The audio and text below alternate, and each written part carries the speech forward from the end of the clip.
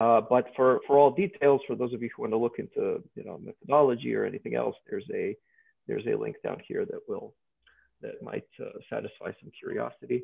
Yeah, so just if you'll if you'll permit one minute of shameless uh, self-promotion, just to echo what uh, Christy kindly mentioned, which is this book called Gangsters and Other Statesmen that I've been working on for uh, a long time, and uh, it's it's a behind the frivolous title there is a serious argument and although it's not exclusively about refugees in the book itself i do encourage people to take a look at it as well if they're interested in forced migration problems because as i'll suggest a little bit today a lot of the global challenges regarding forced migration are very much related to mafias and the challenges of organized crime are often one and the same as the challenges of refugee rights asylum rights, human rights, and the dysfunctionality of the current asylum regime in the world.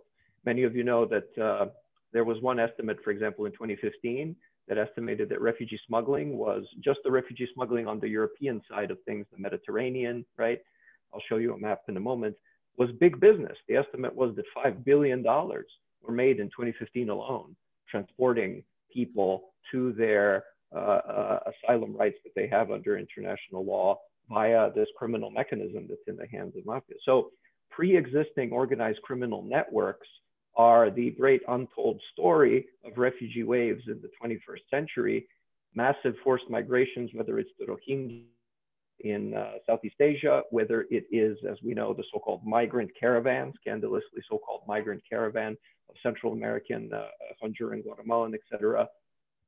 Migrants, many of them asylum seeker refugees moving through Mexico into the United States, or whether it's Syrians that I'm going to talk about today moving into Europe, all of those don't happen by themselves. There is a pre-existing organized criminal infrastructure that has to be in place that is a major catalyst and enabler of those things to happen. And we need to think about it very carefully. So just a kind of overview before I jump into some, some particular findings for those of you mostly who, uh, well, mostly for the undergrads who may not have uh, uh, seen some of this stuff before. So this is the uh, big picture of uh, uh refugee distribution across the world. So UNHCR data, which is kind of the, the, the gold mark, gold standard of uh, estimating forced migration in the world, has us at 70 million displaced people currently, give or take a little over 70 million. Um, out of those 70 million, 20 between 20 and 25 million are refugees, meaning forced migrants who crossed an international border, and the rest are what are called internally displaced persons, meaning basically refugees that have not crossed an international border or forced migrants that remain within the, the society that they are, uh, uh, that they are uh, displaced in. And there are also stateless persons and other categories that are kind of gray area hybrids the thing to keep in mind is, of course, that Syrians are the biggest, uh, the Syrians that I will speak about, that my research was about, are the biggest single ethno-national category, whether or not you uh, think about the Kurdish uh, uh identity category separately, which we can go into, but we don't have to, because these 6.6 million Syrian refugees, in addition to the 6 point, roughly the same 6.7, 6.8, close to 7 million internally displaced Syrian refugees inside of what's left of Syria. And they account for the largest number of any ethno-national category, largest number of forcibly displaced people in the world. And you got about 5.5 million Syrians living in Turkey, in Lebanon, in Jordan, Iraq, and Egypt. And Turkey is, of course, uh, uh, these figures here are not just Syrians. These are all forced migrants, but we want to keep uh, uh keep in mind uh, how how how dramatic a, a share of this overall number the Syrian the Syrian civil war has contributed to in particular. Uh, Turkey, when it comes to host countries, uh, is by far seen, you know, is, is sui generis in every regard. It's got uh, close to 4 million refugees on its territory, and nobody has done more than Turkey in terms of humanitarian aid, in terms of any metric you would want. Erdogan's authoritarianism aside, it has to be it has to be acknowledged that um, nobody has has come even close to uh, delivering that level of uh, uh, hospitality combined and notwithstanding the xenophobia, the discrimination, and all the terrible politics which we can talk about. Um, Lebanon is, so Turkey, per uh, Turkey in absolute numbers is the greatest host nation. Lebanon is the greatest host nation in per capita terms, uh, somewhere between 30 and 40% of the population of Lebanon is refugees. Uh, every third person on the territory of Lebanon is a refugee, uh, mostly Syrian, secondarily Palestinian. And the sky didn't fall in Lebanon.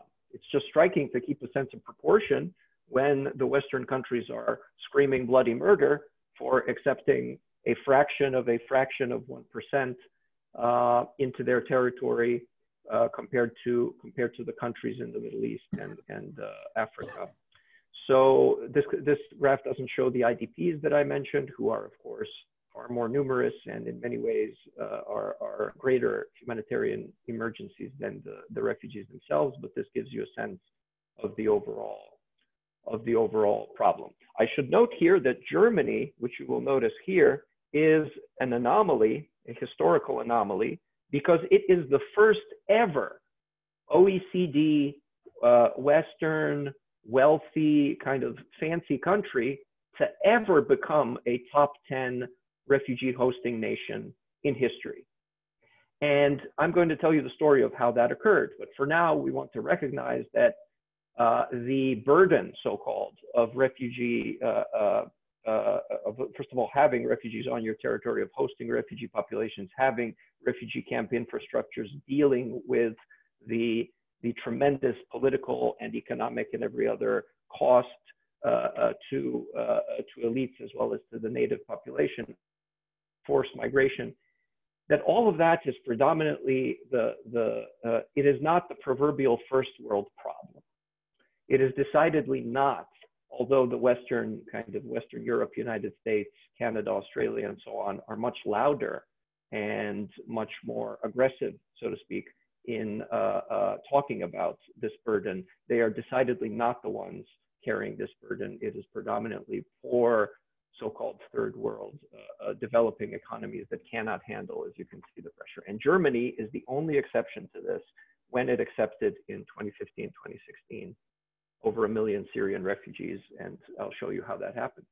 So I won't bore you with the methodology, but uh, uh, in, in, in brief, I was privileged to be part of a, uh, to head a, a, research team of uh, uh, seven field workers, wonderful young people, uh, undergrad who, from, some of them from the Boston area by, by origin, many of them from the Middle East, Arabic speakers, who, uh, uh, who embarked on a crazy on a crazy study in five different countries: Jordan, Turkey, Greece, Serbia, and Germany, at a at a world historical moment when a when this unprecedented exodus of uh, Syrians began began to began to move across the Balkan route into uh, Western Europe, primarily Germany, secondarily uh, uh, Scandinavia and, and France and Britain. Uh, it was it was an extraordinary experience, and we had 101 problems that I can go into methodologically. Um, it is not a it is not the kind of pristine study that that we would uh, have liked because I think the kind of pristine study that we would have liked is impossible in these conditions, and I think a lot of the problems in refugee refugee uh, social science have to do with unrealistic expectations of what is even possible uh, in terms of access, in terms of validity, in terms of uh, how do you interview a, a uh, respondent when, how do you first of all reach a female respondent in refugee camps where women are invisible, for example? And once you reach her and build trust over weeks to uh, have her agree to do an interview, what is the quality of the data in that interview when the husband, for example, is sitting in the tent with her and nodding his head uh, before each answer. She glances at him, he nods, and then she answers. What really is the validity of something like that? Or the validity of a quick and dirty survey, which is the, the, the weapon of choice for much of the data that we get about refugees that bombards them with questions that are very stigmatized about illegal, illegal crossings or about smugglers or about uh, their status or about traumatic events in a 10 minute quick and dirty questionnaire what is the quality of that data if you have not built the trust, if you have not thought about the ordering of the questions, if you have not thought about re-traumatization, and on and on. So there's 101 problems, and I would just like to advertise the advantage. The one advantage we did have is that uh, we did these 180 in-depth interviews, 30 of which are problematic for certain reasons that I can go into, but at bare minimum, 150 high quality in-depth interviews where people talked for hours and talked in conditions of uh, uh, trust and in conditions of uh, relative, although not perfect, uh, uh, uh, so that they could go into their experiences in a way that is not easy to capture and it's a unique it's a, and also it's a unique moment because it was the the it was this this period this massive episode of Syrian uh, exodus that that uh, was rarely captured and that when it was captured it was captured in a very superficial way. And we all, we were at uh, uh several dozen sites along the Balkan route some of which I will I will uh, show you. So this is the Balkan route, and this was the, the major conduit by bar none for the vast majority of people who entered from the Middle East, most of them Syrians, secondarily Iraqis and Afghans. We, we did just a study of Syrians, um, but I'm happy to talk about the others if we have time in Q&A. So this is, the, this is the basic picture. They moved from Turkey into uh, uh, Greece, which is a Schengen EU country, having crossed this little thing here Sometimes some of them swam. You could swim sometimes. It's a half hour boat ride. Depending on where they were exactly in which island, it's, it's even swimmable, but most of them obviously by, uh, uh, by boats, by smuggler boats. And this is a uh, uh, this is a perilous journey. It's not as perilous as the Libya to Italy route, which later claimed uh, many more deaths and drownings. But this was the the the main source of uh, of deadly deadly lethal outcomes in this period, 2014, 15, 16. Having arrived in Greece, uh, they exited EU and entered Macedonia, which is not an EU country and not a Schengen nation. They left the EU zone to proceed through these dinky, if I may say so myself, banana republics, many, some of which are my, my origin society, uh, biographically speaking, but these countries that have significant problems with organized crime and corruption, Macedonia, entering into Serbia. Out of Serbia, they used to proceed northward into Hungary until Orban began to militarize the border very violently and aggressively, uh, after which the flow diverted. Instead of going northward from Serbia into Hungary, it diverted westward into uh, Croatia, which is an EU country but is not part of Schengen. Another interesting complication after which they proceeded into Slovenia, which is EU country and the Schengen zone, to get to uh, Germany, where most of them ended up. So we had uh, interviews in, in all of these all of these societies. The differences between the bridge societies and the destination societies are very important. The bridge societies instituted what I will uh, call a hot potato system, which means their purpose was in before the EU-Turkey deal of 2016 to just get the refugees through our territory and off it as quickly as possible to dump them onto the next bridge society out of sight, out of mind. As long as they were on our territory, they were considered a problem, and you wanted to move them outside of the uh, uh outside of your outside of your sovereign territory. So it's worth noting that the reason. So several things are worth noting here. One is that mafias matter, as I indicated earlier the reason that the Balkan route was uh, the and the reason for many of the outcomes and the the what looked at the time like the near collapse of the European Union as we know it and all this uh, uh internal friction, Dublin one, Dublin two, the Visegrad countries antagonizing the core EU countries, the collapse of Schengen de facto when all the borders began to be closed again, and, it, and then it turned out that the EU is not uh, uh, living up to its own uh, living up to its own uh, border politics and so on. The non-arrival policies that were instituted, the creation of uh, uh, buffer zones. Uh, uh, you see this even after after uh, the Syrian the Syrian crisis with the African crisis. when you look at, for example, how the EU has dealt with Libya in recent years, much of it is making a buffer zone out of Libya so that people cannot move out of Libya into Italy.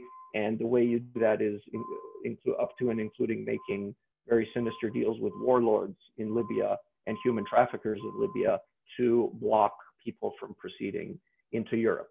So one of the reasons all of this was possible is because organized crime was a kind of pre-existing condition on the Bal Balkan route. The Balkan route was important because it was this decades-long conduit for smuggling of things like heroin. Four tons of heroin moving from Turkey into, for example, Kosovo on the Balkan routes every single month. And out of those four, two proceed into Western Europe through the Balkan route. And what this means is that there is a pre-existing infrastructure of uh, uh, uh, uh transnational gangster, gangster gangs cooperating with each other, with safe houses, with bribed customs officials, with trucks and drivers and trusted informants and corrupt po police officials and corrupt people in the state security apparatus and corrupt uh, uh, border guards and corrupt customs officers. Uh, and one can't blame them when I say corrupt. I don't mean it in a in a normative sense. When you have salaries of, for example, euros a month, how easy is it for a transnational mafia making billions to to acquire the kind of the kind of infrastructure that they need? And so it turned out that it's very easy for uh, this organized criminal infrastructure to shift when there is the demand for migrant uh, uh, smuggling, to shift from smuggling drugs and other things to smuggling people. And this is not something that fell out of the sky. This is something decades long, and we need to understand it. Okay. The second point is that the so-called Middle Eastern refugee crisis or the Syrian refugee crisis did not begin in the Middle East. Uh, what we call the Middle Eastern refugee crisis is that, that uh, small spillover, relatively small spillover of Middle Eastern migrants into Europe, because when it reaches Europe, then it becomes a crisis. Up till then, it's not even considered a crisis, even though there is, in fact, this perpetual crisis in the Middle East, which I indicated in the, in the previous slide. But anyway, the first uh, uh, critical moment came when asylums, when migrants from within Europe, notably from Kosovo, this one of the poorest territories in Europe, uh, began in the tens of thousands, possibly 200,000, we don't know, to move in early 2014 from Kosovo to the Hungarian border.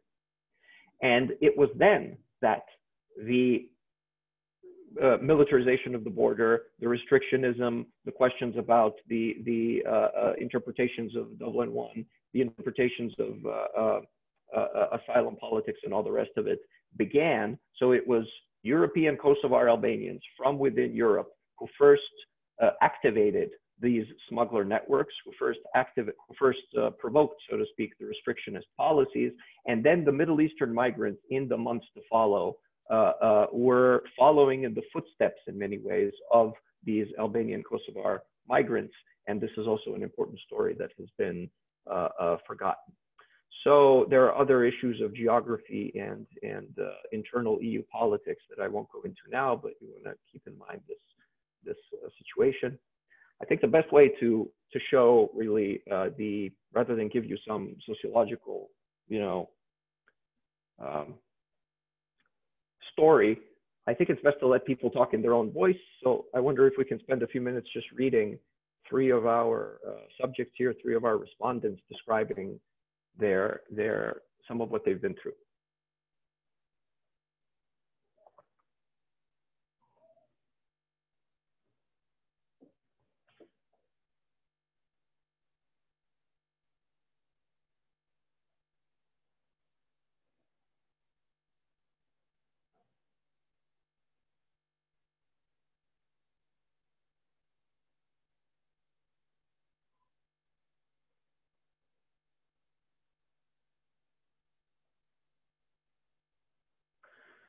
So as you can see, perhaps it's it's uh, many many striking things here. Obviously, one is obviously that uh, uh, uh, forced migration is is not a kind of discrete event, and is very much a process in in several in several ways. One way is that the, the civil war, that's kind of the main force factor, the push factor, if you want to call it, uh, is evolving.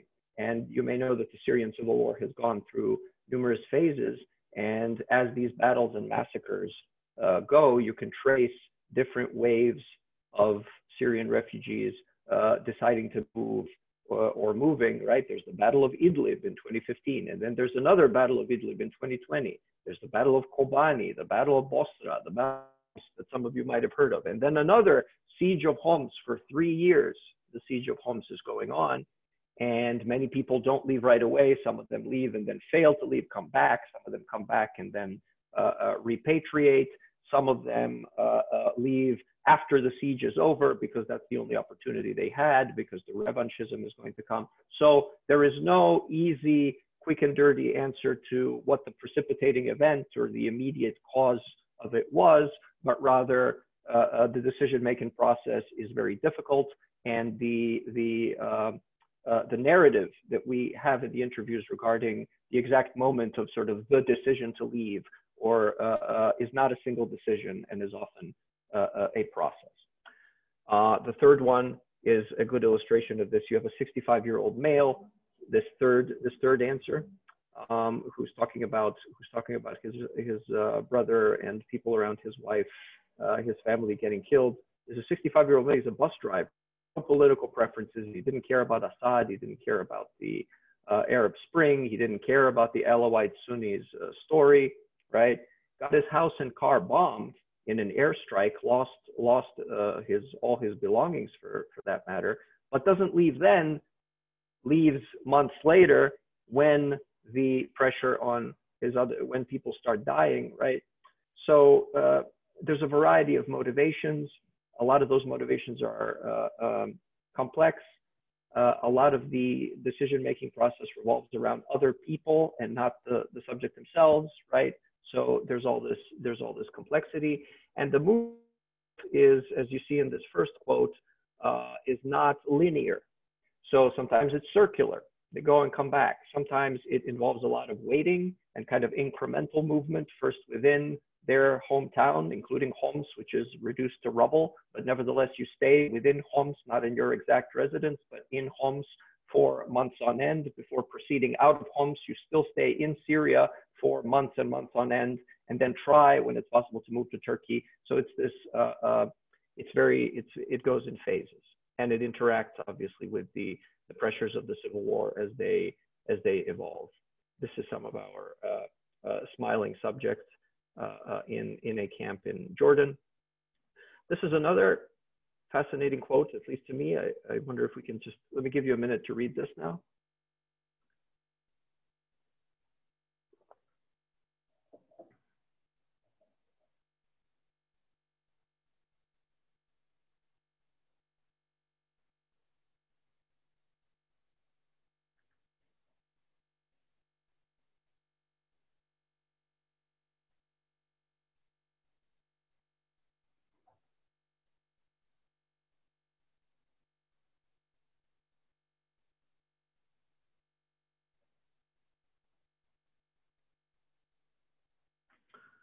So as you might see, uh, one of the one of the cliches really in, in the forced migration literature that you might have come across, some of you, is you know we have this intuitive idea of a refugee as somebody who doesn't have choice, doesn't have agency, doesn't have the decision to leave is sort of not their own, uh, but is forced the thought is that's what refugees are all about. Almost by definition, what makes them different from unforced migrants, for example, is that that initial decision, they had no choice but to leave. They had to leave. It was an involuntary decision, involuntary migration. And of course, that's very misleading because as we see here, the initial act of leaving is very much a choice.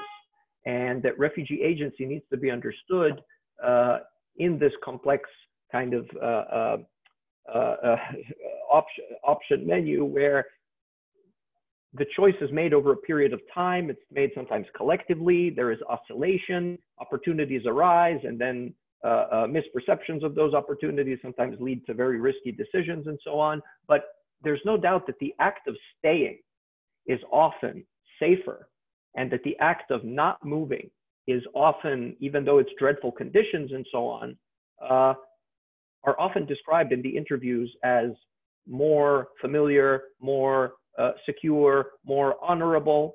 than the act of leaving, which is considered more dangerous, which is considered a leap into the unknown, which is often full of regret and anxiety and remorse and a kind of survivor's guilt of the sort that you can read about in, you know, Holocaust narratives or whatever of why did I get to leave? And I paradoxically feel even worse now that I've left and I don't have the artillery shelling. I paradoxically feel even worse here where I'm not being shelled because I'm so far away. And why did I get to leave and leave my spouse behind or, or God forbid, my children behind, right? So there is this uh, uh, interesting uh, theme that emerges from the interviews that there is a greater uncertainty, greater danger, greater catastrophe in the choice of leaving, and that this choice of leaving, in this striking example in particular, can be deadly. So this woman has a sniper behind her building, and the single most uh, deadly, uh, the single most near-death experience that she had was not on the boat ride to Europe, was not anywhere else, and was not sitting at home for months on end, years as the Civil War was going on, but was the decision to have herself marked by going out, stepping out, and visibly engaging in the act of leaving her city by getting into a taxi cab, and she could get killed like a bird, or what's the metaphor she uses, right there in front of her building. And there's no doubt that it would have been safer, like the, the others remaining, to stay inside her building, but chose because of her elderly mother who had a problem with cancer uh, to leave uh, uh, to leave the building. So this is just to show how complicated some of these dilemmas are, and uh, to to to complicate some of our understanding of refugee agency, which we can talk more about now. One of the things we began to see that really surprised us was that a lot of the riskiest, most traumatic, most uh, uh, uh, uh, uh, most most endangering events from the moment of leaving Syria to the moment of wherever we are doing the interview, right?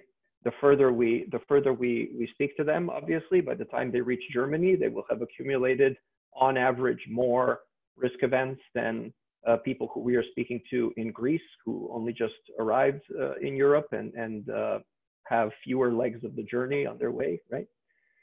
But one of the most striking themes was that a lot of the, the dangerous situations and near death experiences in particular were a result of smugglers adapting themselves to anti smuggler repression or to fear of arrest or to you know uh, smugglers engaging in evasions of various sorts putting the refugees in danger right what we call shifted risk they shift the risk to themselves, the criminals do to uh, from themselves to the refugees.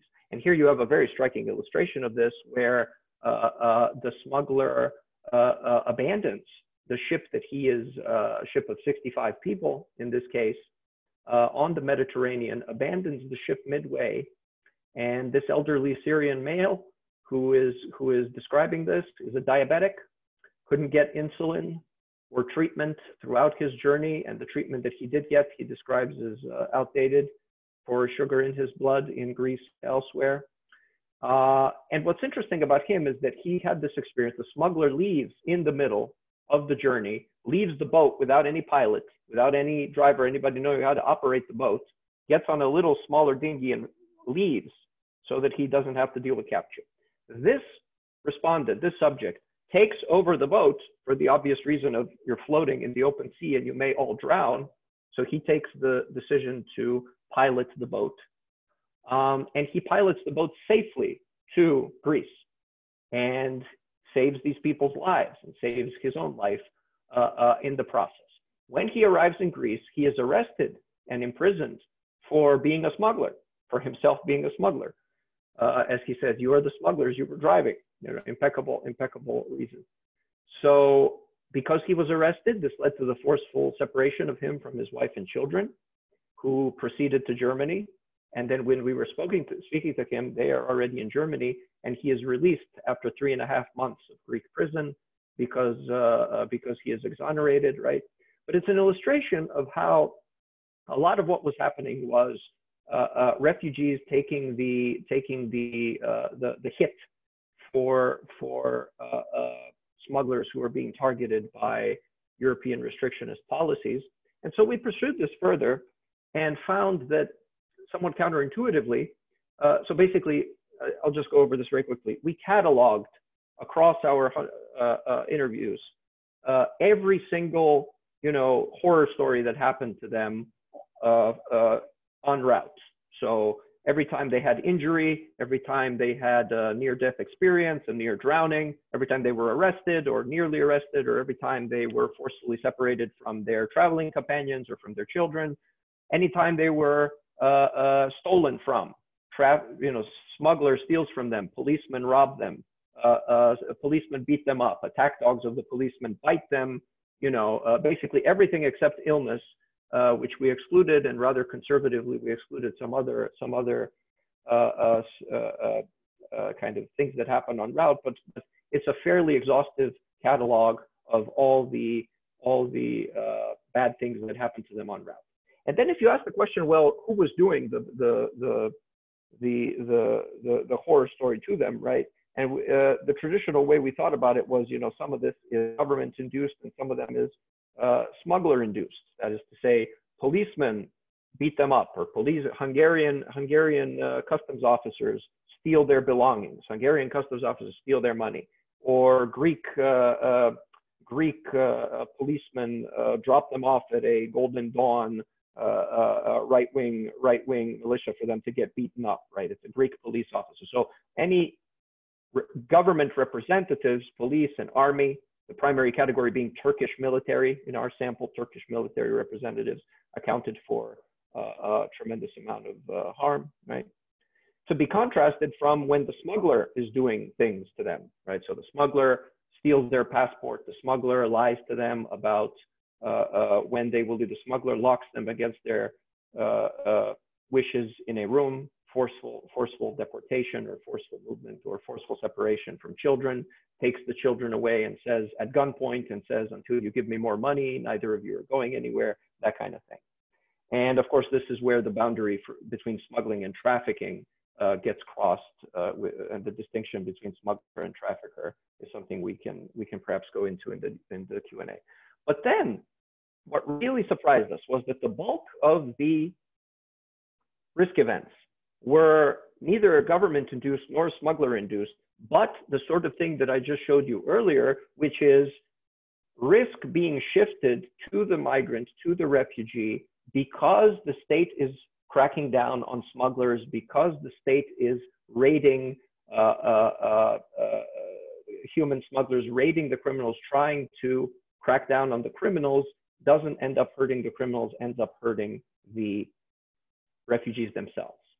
And this is a very important, we feel, policy uh, uh, issue and is a kind of classic example of the unintended consequence of anti-smuggler repression, most of which does not hurt the organized criminals or the smugglers or the traffickers, but ends up hurting the refugees themselves. And this is something to be taken very, uh, very seriously. The single greatest uh, uh, example of this, the single most common example of this, is the fact that as Europe militarized the Mediterranean more and more and more, the drownings escalated. Drownings of migrants, dead. You know, uh, one of you mentioned uh, before we began the striking image of the, the little child corpse washing up on a Turkish beach resort. And this is very bad imagery, and everybody starts reacting when we see this, right? So if you look at the aggregate uh, uh drowning uh, data and the trend, the pattern of drownings, it is perfectly correlated with the level of restrictionism, the level of militarizing the Mediterranean. As the state cracks down on smuggling, the more the state cracks down on smuggling, the more the drownings escalated.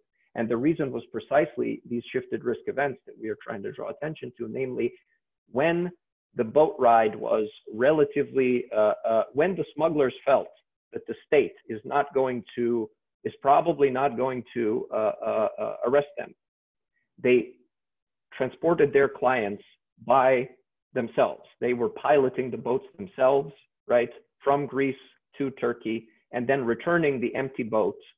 The smuggler, kind of low level smuggler, low level criminal. A lot of them are themselves refugees because the smugglers recruit refugees when they don't have enough money or they're stuck somewhere, for example, to uh, recruit others for smuggling journeys and so on, right? But these low level smugglers would pilot the boats and then bring them back empty as the militarization crackdown anti-smuggler campaign begins, the critical shift happens. Number one, that there's no pilot anymore. Because why should the smuggler risk it? Why should he go there? Why should he pilot? And instead, they take the group of 60, stu 60 students, 60 refugees, and say, you know, oh, you, yes, you, you look like a strapping young lad. Here's the engine, here's the motor. You see that point over there? That's Greece. Off you go. And so that's one obvious reason why the drownings increase, because you have no pilots piloting the boat. You have the refugees themselves piloting the boat. And the second major reason is now that they decided not to risk it, the smuggler is not going over there and taking an empty boat back. Why should he waste the, that boat is not coming back anymore because there's no pilot. And so why should he risk the investment? Why should he waste money on a quality fancy boat? And so what they do is shift to dinghies, very low quality, unsafe, blow up dinghies instead of the boats that they used to come back because it's a, it's a loss of profit. And so you buy the, the, the crappiest, so to speak, boat that you can and uh, uh, pack it with refugees, which also contributed to the spike in drownings. So let me get rid of these now. So let me show you a testimony in that regard.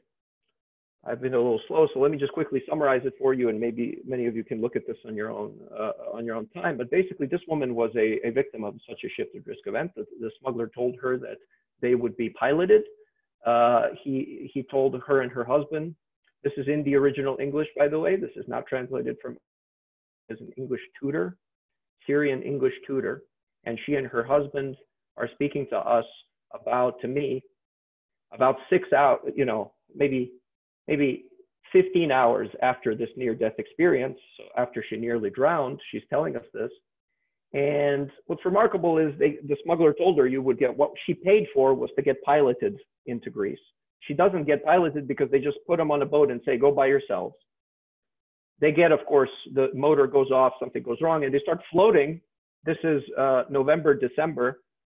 Mediterranean open sea, and the temperature is a serious proposition in the winter in the Mediterranean. The cold is a serious proposition. And so there are also people are falling into the into the water.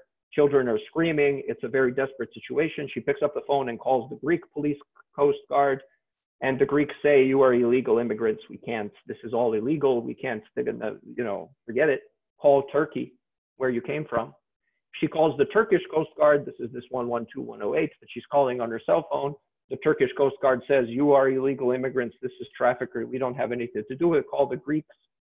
Then she calls the smuggler who put her into the dastardly situation on his uh, cell phone. And he says, As you can see, my job was to put you on the boat. This is my job. Here, my mission is finished. If you drown, this is up to Allah. And so the thing to understand is that, of course, uh, the, the government restrictionism is very much, uh, uh, they all survived in this case, but many of them in this situation didn't survive. And uh, the blood of these situations is very much on the hands, not just of these smugglers, but of the governments who are not thinking through this kind of policy. And what's also remarkable, coming to my next point, is the extent to which this woman has no bitterness towards the smuggler whatsoever. She says, He is like us. I don't blame him. He is our friend. He saved us. He is not responsible. It's not his responsibility.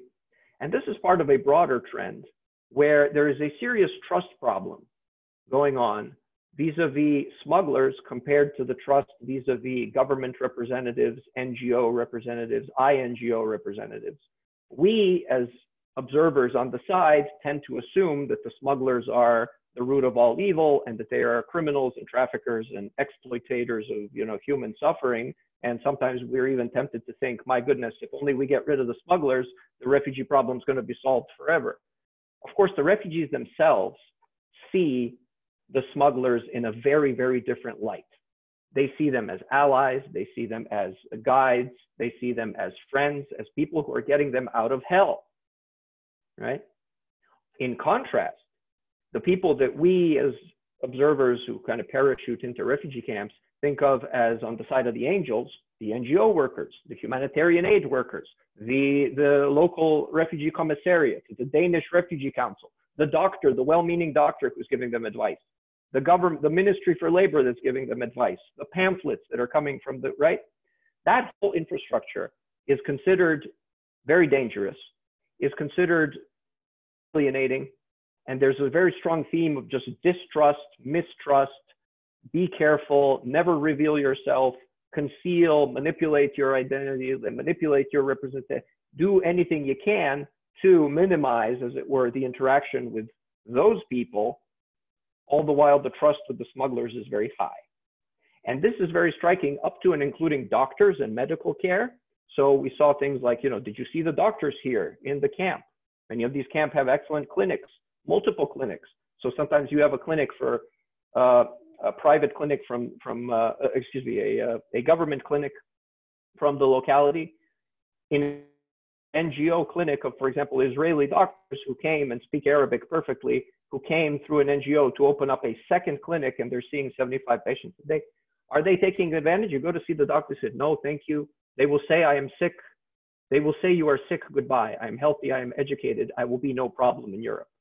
Notice that the very, the very uh, uh, question of engaging with medical care is perceived through the lens of these people want to test me. They don't really want to give me medical care. What they really want is to figure out, am I a good refugee or a bad refugee, or am I even perhaps a terrorist? The second one, my daughter has a cold. They were good. She got medicine, but we don't trust doctors. The doctors ask you, how did you get this injury? Are you for the revolution or are you for Assad? And then you are finished. You will never leave. So tremendous skepticism, tremendous uh, distrust, tremendous avoidance, which is a problem. And then on the other side, this is from our survey data. This is the, the Yelp of smugglers, the Yelp of the, so this is like Yelp for restaurants, but we asked them, how satisfied were you with your, many of them had multiple smugglers, right? Um, and yeah, so this is, this is quite striking. This is uh, uh, the, the disjuncture between uh, uh uh, the, the nature of human smuggling and how the clients, so to speak, of human smuggling are uh, uh, developing relationships with these people. There is, of course, a lot of trafficking as a subset of the, the all the smuggling experiences. But on the whole, our experiences in the interview, especially, is that the horror stories that they tell about mistreatment at the hand of smugglers pale in comparison to the horror stories that they tell about mistreatment at the hands of police, at the hands of soldiers, at the hands of border officers, and at the hands of NGO representatives and INGO representatives and all those people working on the side of the angels who are lying to them or obscuring what their rights are or not giving them what they promised or denying them something that's very important to them or forcing them to go through some procedures that don't make any sense or failing to communicate information that is important to them, on and on and on. Uh, this is this is very important to think about. And more broadly, a lot of the migration process is informed not by the posters at refugee camps, not by the suggestions that people get by caseworkers or by NGOs or by the local governments that that when you walk in, you know, to a refugee camp, the Syrians were bombarded, and refugees around the world still are bombarded with information that they don't need, and a lot of times that they don't understand. A big poster that publishes, you know, this is the asylum law, section 16 of so and so of the Serb of the Republic of Greece or the Republic of Macedonia in Farsi and then in Arabic, and here's another one in English. And of course, most of them don't care about any of that. And even when they do care, it's nothing very, uh, uh, very salient to the day-to-day decisions of where am I going to go, where am I going to sleep, how am I going to get food, how am I going to get some, some resource that is going to do the resilience for me, right? The, the information that they do care about, especially in the bridge countries, uh, is things like how am I going to get out of here? How am I going to cross the border illegally? Which smuggler is reliable, which smuggler is a trafficker and which smuggler can I trust and who can I ask about the people who left before me, how can I follow in their footsteps and what border should I cross? Should I go into Hungary or should I go into Croatia proceeding from this bridge country? A whole slew of questions that are taboo, that are uh, uh, uh, perceived by people working in the camps, NGO people, especially government people, law enforcement, as taboo because they seem to be inviting people to commit some crime or to violate some, some rule. But those are the ones that actual refugees on the ground are worried about and thinking about, about their, their, their life and safety and family reunification. But they are bombarded by information that is completely irrelevant to them. And the information that is relevant to them is taboo and nobody wants to talk to them about it. And so the criminals do talk to them about it. And so the smugglers, of course, become tremendous sources of information, informants, not just smugglers, but I single out smugglers because they are single, single most important category.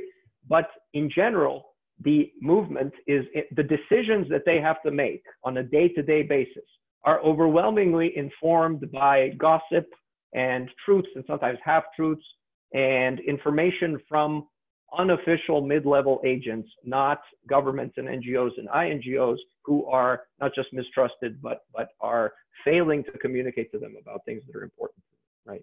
And notice what this means, of course, that for their own cynical self-interest, smugglers sometimes, for example, one case, why did you go to the Croatia border? Uh, sorry, why did you go to the Hungarian border when obviously the Hungarian border crossing is the most dangerous decision you could have possibly made because the Hungarians are crazy and because Orban, as many of you may know, but you know the single the single most uh, aggressive restrictionist policy with the attack dogs and the very aggressive uh, border guards is on the Serbia-Hungary border, and he decides to go through the Serbia-Hungary border. He gets attacked, beaten, robbed of everything he has, and it's bad enough that he gave all this money to the smuggler for the for the uh, pleasure of that experience but then the policemen at the Hungarian border beat him up and say this is this is Magyaros Hungary remember the name so that you can never so that you will never come back here and then he gets dumped back into Vojvodina across the border when the smuggler who recommended to him that he should go that way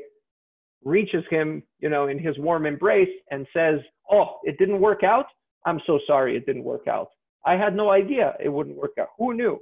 But don't worry, if you get another couple of hundred euros in the next couple of weeks, we perhaps we can try again, right? So there's this incentive for smugglers. They don't all do it, and many of them are honest people who are trying to help these people get to where they belong and to secure their asylum rights, which are otherwise denied to them to such an extent that only criminal mechanisms remain. But that's a bigger story. Um, but you know, a lot of them, for their interest are exploiting migrants, abusing this trust that they have, almost a monopoly on trust that they have among these desperate people who are dumped in Europe in an alien culture, alien civilization. You know, they know about as much about the Balkans as you and I, as Americans, would know if we were dumped in, into Homs, for example, and or Halep, and say, you know, do you know your way around? No, you don't know anything about the way around. So it's very easy to exploit this trust for their own purposes to make that give them false information or misleading information, which leads to them doing lethal uh, decisions, lethal near death risks, and terrible risk taking instead of Croatian border, which is of course much safer. Both are illegal, but one is obviously from a uh, uh, not just from a human rights perspective, but a humanitarian perspective, but from the perspective of governments interested in not footing the bill of hospitalization costs and, and various other expenses associated with refugees suffering, right? So from a variety of perspectives, it would make a lot more sense for governments to take the lead in uh, communicating some of these topics to refugees. So I'm doing badly on time. My understanding is we have about until 2.30, is that correct? So I might be a little can anyone even hear me? I realize I may be just talking into the ether. I can't see it. Yeah, it'd, it'd be 1.30 our time, but central, but.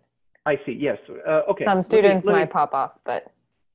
Let me, let me end with a, a small overview of the variety of refugee camps, because I think it's important about where this stuff is happening and where a lot of the uh, uh critical, critical uh, uh, events and critical junctures really on these trajectories on the, the forced migration happen.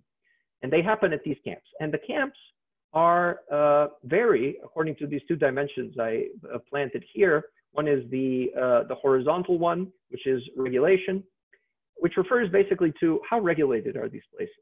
How much of a government NGO, INGO presence is there? Is there a UNHCR booth, which is distribute, which is counting who's coming in and out? Is there a fence, which designates where the camp ends and where the camp begins? Is there the Danish Refugee Council, as well as the local Ministry of Labor, as well as the volunteers from uh, from uh, uh, IOM, as well as the right? Or is it very unregulated, uh, uh, uh, no boundaries, no toilets, no mobile toilets that somebody installs, for example, and bottom up in the sense that the refugees themselves have congregated there and created a camp-like situation, informal settlement without any formal government uh, or NGO, INGO presence, right? That's regulation, and they vary. On the vertical side is permanence, which we should think of like, you know, is this camp something like Zaatari camp in uh, Jordan, which, which many of us visited, right? The kind of most popular one to visit, which is there for years and which is going to continue to be there, second biggest camp in the world, right? And it's, it, it may become the longest standing refugee camp uh, uh, in history, who knows, right? But certainly for months on end, years on end, permanent camps which have a kind of rootedness to them and a kind of institutionalization, and they're there to stay. In contrast to impermanent camps, transitory camps, temporary camps that are the ones that we don't necessarily study as well as the permanent ones, whose function is to perpetuate that hot potato system that I mentioned. They may be regulated or not, but they are there for a couple of weeks, or they are there for a month or even a couple of months and then disappear because they, uh, the refugees themselves leave or because they were never designed to have any kind of permanence because we don't want these people on our territory. And this is a temporary measure, a holding action camp, not permanent camp, right? And so I sketched some of the, I listed some examples, but it's important to think about how, depending on the kind of camping at, different challenges and different phenomenon are going to have very, very different effects and consequences and considerations and perceptions from the people with. For example, smugglers. So in a regular, if you're a regulated camp and you are something like Azraq in Jordan, where only the problem cases go and where uh, terror right across the border, right? And where terrorists and possible possible uh, uh, troublemakers are disproportionately sent, and where my team and I were kicked out unceremoniously, even though we had access from somebody directly in the Jordanian monarch royal family, even then you get kicked out. How obsessed they are with security, highly regulated camp. And many people whisper how it's more like a prison than it is a refugee camp, right? So if it's a regulated camp like that, smugglers are a pain in the neck. They are a big danger. They are taken extremely seriously. They are, for all we know, tortured, though we don't have any evidence of this, but uh, nobody would be surprised if that's the case unambiguously kind of irredeemable evil, the smugglers in Azraq camp, even though they are often effective, including in smuggling people out of Azraq camp in Jordan into Zaatari camp in Jordan, which is considered a paradise hotel compared to the Azraq camp, which is a lot more repressive. So you even have smugglers moving. There's an infrastructure of smugglers moving refugees from one refugee camp to another, let alone from the refugee camps into urban neighborhoods or from uh, uh, one country so smuggling, smuggling is smuggling services are also red, right? In contrast, if you are an unregulated camp, if you are, for example, Piraeus port in Greece, unregulated, no no fence, no police, no entry exit, nobody keeps data. There's a couple of booths that people put mostly ceremoniously, some NGOs, local NGO, humanitarian do-gooders, but no no, it's not on the map, for example, of the Ministry of Labor. If you talk to the Greek government, it officially doesn't exist, this camp with hundreds of tents that's been there for a while, right? So in these unregulated camps, the smugglers are considered not the worst thing in the world. And you interview the policemen in Greece. What about, are you aware that you can just, you know, smugglers walking around freely? I can interview them, you can interview them. The policeman says, you know, leave it alone it's not the worst thing in the world because it's a natural mechanism for these refugees to leave. They don't want to be here. We don't want them to be here. This camp is just an anomalous kind of temporary situation in Piraeus port. It's not an official permanent camp. We don't really want it to be here. And so let the smugglers deal with what, let them do what they're doing because it's a natural way for the refugees to get out of here and maybe they can proceed to Macedonia so they're finally out of our hair, right? So we have other things to worry about. People are setting themselves on fire in Idomeni camp or whatever it may be, but the smugglers are not considered a danger and may even informally, there's this laissez-faire, looking the other way attitude, right? So you see this a lot in a lot of these unregulated informal settlement camps, including at border zones. So for example, I showed you that Balkan map. You see this anywhere where the government has a de facto policy of allowing smugglers, when the smugglers are getting people off of our territory, but being extremely restrictionist and security minded with a capital S, cracking down on smugglers if the smugglers are getting people into our territory. Then you get the chest thumping. Then you get the press conferences. We just arrested 16 traffickers and on and on. But if the smugglers are serving the function at a border zone, moving them northward and uh, dumping them onto the next country, there is often a laissez-faire attitude, which people will freely tell you, informants in the state apparatus, they will tell you about it. So depending on the camp, smugglers can be a disaster catastrophe or a cure. And that's why it's important. Or just one final example consider this Idomeni camp that I mentioned in Greece. It got a lot of press coverage, including for some rioting and so on. Um, in Greece, there was a woman who started a bakery in Idomeni camp, and this bakery picked up a lot of steam and became very successful. She's making bread. Indigenous uh, uh, uh, Syria, sorry, not India, but uh, a Syrian refugee making bread, little informal bakery. The bread is delicious, and she's selling to indigenous people outside of the camp in Thessaloniki or wherever it is as well as to other Syrians. She becomes a kind of mini institution. Everybody knows her in the camp. They come to her on a daily basis for self sustenance. She begins to have a little mini business. It's a sprawling kind of bakery that this woman has. From the perspective of Idomeni camp, this was considered a disaster because this was considered a temporary camp. And because this was considered, although it was regulated, it was a transitory, temporary camp situation we are not in the business of keeping these people here. We are not in the business of assimilating these Syrians into the locality. This camp is here as a temporary holding action, a bridge, a, a uh, so that they can move forward, so that they can move on. And so anything that is anchoring, like this woman's bakery, anything that is, even smells or you know begins to appear like it might be a reason for people to stay or to uh, be integrated into the locality is considered a right. In contrast, in permanent camps, that kind of activity is not only welcomed but wholeheartedly embraced.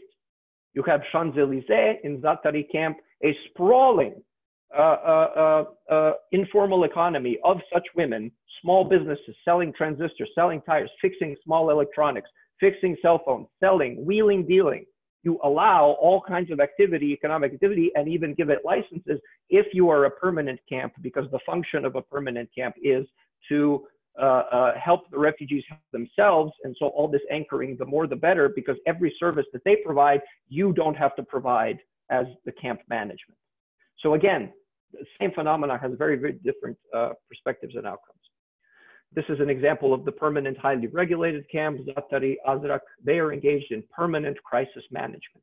This is not a city. This is not a urban kind of citizenship thing, like some people in the literature talk about it. There is nothing more misleading than to call it a city because there is no freedom of movement. There is no real civic rights of any sort, and it's very misleading. And furthermore, they have very good PR so when you're doing field work, I hope some of you undergraduates may be inspired to go do field work in these things. You want to be very careful of the public relations developed uh, Twitter account that Zaatari has to put messages like love is in the air at Zaatari and the like. Uh, this conceals a lot. And you want to look at suicide rates, you want to look at domestic abuse, you want to look at how good these camps are at showing you as an outsider, you come into the camp they are very, very good at showing you what you are allowed to be shown and not necessarily the dirt behind the ear or the things that are not functioning so well, but that are there. So uh, uh, this is the kind of thing that has a lot of uh, uh refugee misery tourism and people feel like they live in a zoo in part because people like us come from the outside to kind of parachute in for uh, uh, an afternoon where we have a very carefully regulated set of things to see, and then when we leave, we have very misleading impression, right? And life goes on. Transitory, highly regulated camps are the ones that are the hot potato system. Here, the slogan is keep it moving. Here, the rotation rate of refugees is as close to 100% as you can get it, sometimes 50, 75%, which means every day you have 75% of the residents are new people. And the, the whole logic is get them off of our territory as quickly as possible. How long do they stay here? Only as long as they can get back on their feet to continue moving. What food or medical services should we provide here? Is it permanent hospitals? Is it permanent schools, for example? Like in Zaatari, you have long-standing schools, one for boys, one for girls. No, you only provide the medical and educational and every other care just enough, just necessary to get them back on their feet, to get rid of some injury or something, so that they can continue moving, right? Uh, and then finally, this is Piraeus Port that I mentioned, completely informal, completely unregulated, bottom-up settlement that only existed uh, uh, uh, uh temporarily, but that was extremely important because uh, smugglers converged here, because because of this, and, and again, there was this interesting dynamic of the state negligence combined with all these very, very important outcomes happening for the refugees at Piraeus port and not at the official, the official government camps, right? And there is this not so subtle message of, you know, get lost from the police, from the local uh, uh, uh government uh, representatives, where they are expecting this to disappear by itself, minimal regulation. You put a few booths up or toilets up maybe to keep hygiene, but nothing above and beyond that because you don't want to incentivize any permanence. You are against permanence. You are just doing transitory hot potato system. Okay. I'll stop here, but this raises some, uh, here's a list of some, some uh, kind of contradictory purposes that a lot of these camps have.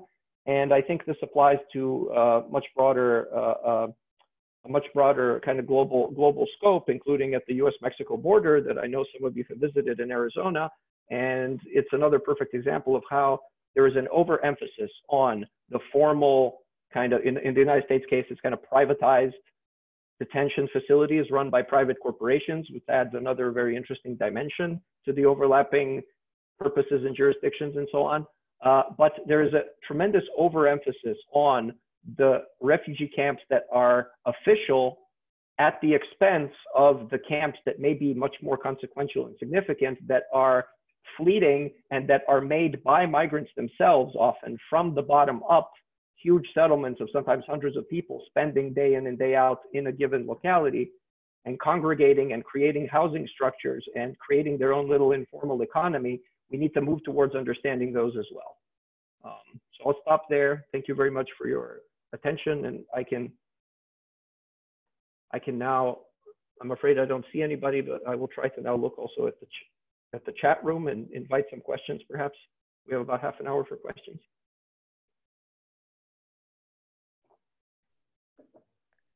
And feel free if any students have questions or anybody in the audience has questions, just you can also unmute yourself and speak.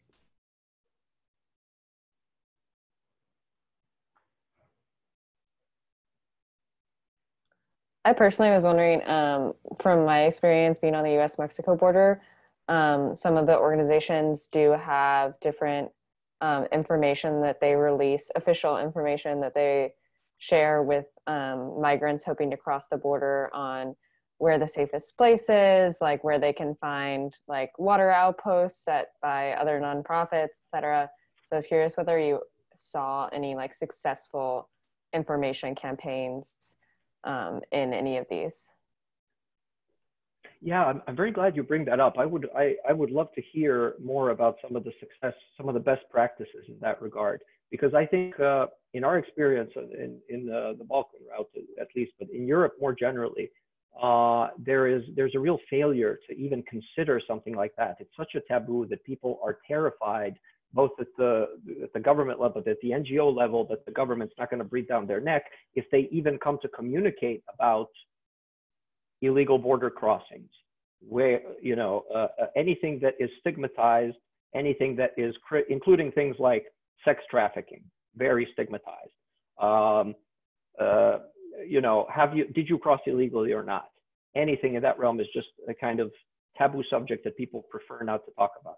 Of course, the rational thing to do, and what I call a kind of targeted advice policy in, in, in a paper that I, that I can share is, of course, it makes sense for the gut because if the government doesn't talk about such practical decisions as water, hygiene, how to avoid the sex trade, how to know which border crossing is right, uh, the, gov- the, the smugglers will. If the government and NGO and NGO sector does not clearly engage with those questions, criminals will. And that's a sad fact of life. And I think that uh, the, the overcaution that at least the Europeans have in communicating transparently about such issues is, is, is a real, uh, is, is, is itself criminal. It's the kind, the, the metaphor I like to use is needle exchange programs. So as every public health uh, uh, uh, specialist will, will explain to us, if you're interested in the heroin problem or some other, some other uh, drug injection narcotics problem with needles, you have to understand that if you give them free needles, free clean needles, you're going to do this decreasing of disease, decreasing of spreading, and all the rest of it. And the stupid way to look at that is, oh, they're promoting drug use. Oh, they're promoting heroin smuggling by giving, when the governments give free needles. Of course, the smarter strategic public health way to look at that is the government has a perfectly sensible interest in saying, listen, we do not condone any kind of narcotics use. Furthermore, it's very criminalized and we will arrest you and we will prosecute you if you engage in heroin use. However, if you are going to do it, use these clean needles. And everybody knows that that's a sensible policy. And the government does talk out of both sides of its mouth in that regard, but the data is clear that that saves lives. Similarly, a lot of these European countries, if they were smart, would say something to the effect of crossing borders illegally is highly criminalized. If you engage with smugglers, we will arrest you. If you engage with traffickers, we will prosecute you. But if you are going to do it, here's a list of things you should know. Mm-hmm. But of course, that's politically very sensitive, and it would require a kind of uh, it's I've been I've been advising people, including the European, and everybody nods their head, but then. I mean, I have been seeing quite a number of EU-sponsored research papers coming out about changing, you know, trying to understand where people are getting the information about the passage and what's waiting on the other side, um, as a means to try and make sure that the information that they're getting is going to lead them to the safest choice. Because I think one of the things that I take from your, your talk that's really powerful is one, that these are processual decision making. Um, they sort of happen along a, a, chain of events and not simply, you know, you're forced, there's an explosion and you run, right? Um, so people are seeking to get information and are they, how do they, who do they trust? Um, you know, I've, I've seen, I remember one paper, I forget the author, um, talking about as you said, people are much more likely to trust smugglers, anyone else who is non-governmental. Um, and so, are there ways that then you can communicate using those those um, those channels to somehow also indicate the kind of um, the reality of the situation? So. Yeah, that's beautifully put. That's that's a great, very concise and much better way of what I was trying to say. Yeah, you're right. Um, are there other questions from students? I know we, we do have some students here who are part of um, our IAS research team. So I'll just ask a question on, on behalf of our class. Uh, um, we've got two classes here represented. Can you tell us a little bit about how you found your way into this project? Yes, sure. So uh, partly by accident, I've been studying Kosovo for, for a long time and one of the uh, one of a very high level UNHCR uh, representative in the UNHCR Belgrade office, which covers a lot of this Balkan stuff, invited me. Hey, you want to go to this camp on the Macedonia border? And out of curiosity, just I wasn't a force. I wasn't studying refugees. I was in. I studied separatist movements. It wasn't my mm-hmm. field. But in 2015, I by accident ended up going there. And the minute I came, I realized very quickly that this is a, a world historical his moment of the sort that you get maybe twice in a lifetime. And for me, it was even though I come from Yugoslavia, where we had four wars and hyperinflation and all the rest of it, I was I found myself in a moment in uh, in this uh, situation where it was winter like this. In fact, I think in, in uh, December. This is one of those early months, and so I ended up staying 7 a.m. to, to 11 p.m. every day for about a month in this in this transitory camp. This was the biggest Preševo camp border. It was the biggest uh, uh, the biggest refugee camp of the entire of the entire period from uh, early 2014 when it started to trickle in through the peak in 2015 summer up until March 2016 when the EU-Turkey deal was done. It was an abandoned tobacco factory transformed into a makeshift camp because 2,000 people a day were coming in every single day 2,000 people, 2,000 people every single day moving. And the sto- and you can imagine, uh, it's uh, I showed you some of the story. They they just came back from nearly drowning. They just came back, mm-hmm. lost their child. One a child died because of some medical. They had to bury them. You buy the you you you find the local uh, uh, mosque because it's an Albanian town, ethnic Albanian Muslim town. So you find the local mosque who's going to bury the kid. How are you going to hire translators? Who are the translators? This lady here is a is a 19 year old girl in the middle, Sanya, playing with the two Syrian kids and this is her first job in in uh, in her life because she made the unfortunate decision of studying Arabic in Belgrade University, which is a sure way to condemn yourself to unemployment for the rest of your life. But here she is. She got this job, and it's her first job ever. She works right from 7 a.m. to 11 p.m. when the when the camp gates closed, and she was officially a translator. Unofficially, she was the the PTSD clinician and she was also the babysitter and she was also the parental guidance counselor and she was also the bodyguard when fights broke out and she was uh, just tremendous adaptation and institutional yeah. confusion energy and it was just a unique experiment to look at and so after that long story short i did a month month's ethnography there and then i was lucky enough to join forces with a with an excellent uh, team that I should mention, uh, head by Denis Sullivan from the Boston Consortium for Arab Region Studies, who, who, had the, who had the infrastructure to take this to the next level and to take it to Jordan, where he had access to all the camps, where he got us into the camp to, to, to go to Turkey, to go to Greece, and to go to Germany. And, uh, and then we just, we just jumped into this uh, over, over the next two years. Um, so it was really fortuitous for me too, but it, it was yeah. Yeah.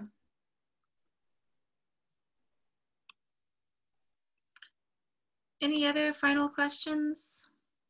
There's a question in the chat. Oh sorry. Oh i'm sorry i can't actually. So have you had any interaction with refugee children? And if so what were your experiences and how how were the children being supported? The question is from maya. Thank you maya. Oh so we we excluded children from the sample itself obviously. So we didn't we didn't as part of the sampling survey. But yeah, I mean, as we know, so the, uh, a majority of refugees are children, right? And women. So when we say refugee of that whole population I mentioned, more than 50% are children and closer to 60% are women. Um, Syria, there's a great deal of literature on, on unaccompanied minors.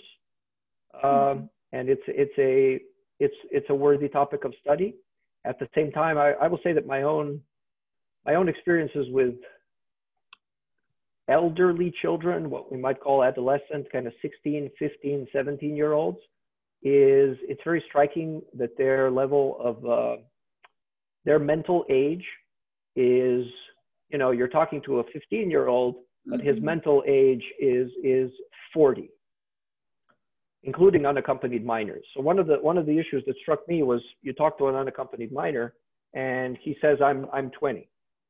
He's not 20. Of course, none of them have documents. Their passports they couldn't they either didn't have or how could you get a document in Syria? First of all, asking asking Syrian refugees to get a passport is the height of cruelty and cynicism because it's you know it's impossible.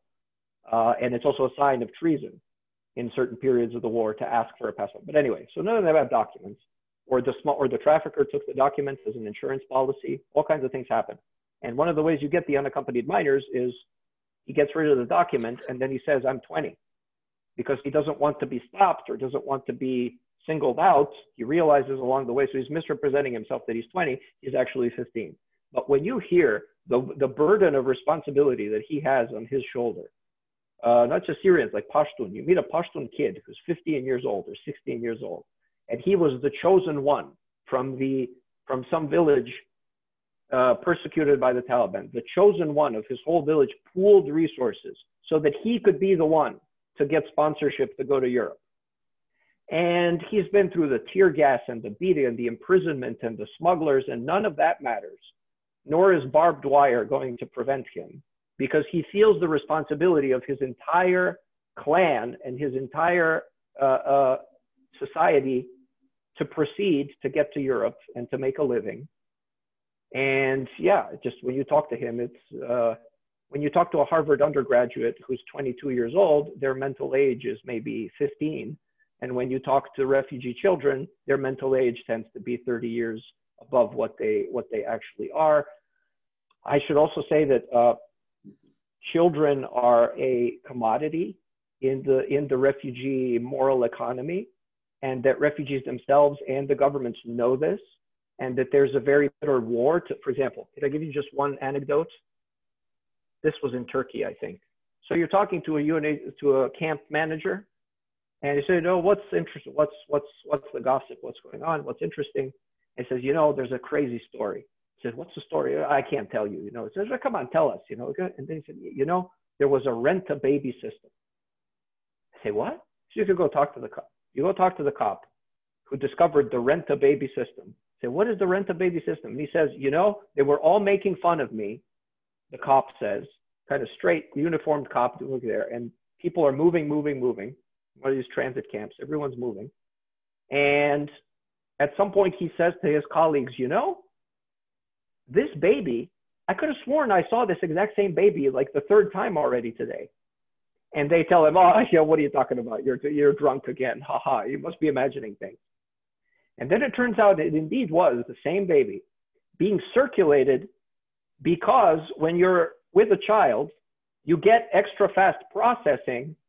You get the fast track at the camp where there's, for example, 2,000 people a day need to get registered and fingerprinted and processed and sent on their merry way. And if you are a single aged military male, for example, you might get escorted into a special room to see if you are not perhaps a, right? But if you are with a child, and especially a mother with a child, it's like at the airport where if you get that little fancy card for the global, you know those things when we go to when we used to go to airports before, right? So we I don't know if you guys heard there's this corona virus apparently going around. I just found out about it. But before this, right, we used to go to airports. So you know that ticket when you when you're standing in line like an idiot, and that guy has the global access entry points to go grow across the queue, and you think to yourself, my God, why didn't I pay the the extra money for the extra faster? That's what a baby is. That's what a baby is in in forced migration refugee movements, especially the more restrictionist they get, the more valuable it is to have a baby. So what these Syrian families were doing is they passed with the baby and then they rent the baby to the family from their neighborhood or from the or from the city or their neighbors or maybe their cousins right? A lot of cumulative causation social capital they're traveling together. And so they give the baby back to the people who haven't crossed the line yet. And so that's why this baby was being rented out for 30 euros uh, uh, to people without a baby so that they can get fast tracked. That was the rent a baby system. And then and these cops discovered and so you know, if you would like to be puritanical about this, this is of course human trafficking par excellence, and you should arrest everybody and and pursue some uh, some uh, uh, human rights uh, NGOs on unaccompanied minors, unaccompanied minor situation like up to here. In, a, in, a, in another perspective, this is resilience. And this is how refugee resilience looks like in the real world. And they have to make situations like that all the time. There was a there was a famous case of a uh, of a woman caught on camera spraying uh, uh, sticking her child's head her fa- the face of her child, who was maybe five, six, in steam smoke, so that the smoke stimulates tears in the child's eyes, and then she and then she quickly picked him up and to run across a checkpoint. And this was circulated on right-wing uh, uh, uh, xenophobia, um, you know, uh, circles in Europe, which are which are which are perhaps almost as prominent as they, as they as they're becoming in the United States, that are very anti-refugee, anti-migration, uh, and anti-Arab, Islamophobia, and all the rest of it this was circulated like, oh my God, look at the refugee mother. Look, would you ever stick your child's head into it? She's cheating. She's trying to use the tears of the child as a ticket at the checkpoints because if you show up with a crying baby, you're going to get cer- certain access and certain resources that that otherwise you wouldn't. And look how she's cheating. And what kind of mother is she? Does she perhaps hate her child? And the answer is no. The answer is, I think if you go, many of you might go to do field work, you will find that in the real world, these are the kinds of situations that you, and much worse than this, that you have to do to survive, and that you have to move on, and that you have to, uh, up to and including using the, ch- the children card, and the, the, the idea of, you know, babies and children and innocence, and, you know, the good refugee is, is of course, uh, not what it is on paper, where it doesn't matter whether, if you, you have the right to asylum, whether or not you are an adult in the field, uh, people are much more likely to give you the asylum rights that you deserve anyway if you can somehow tie your fate to the, to the children thing.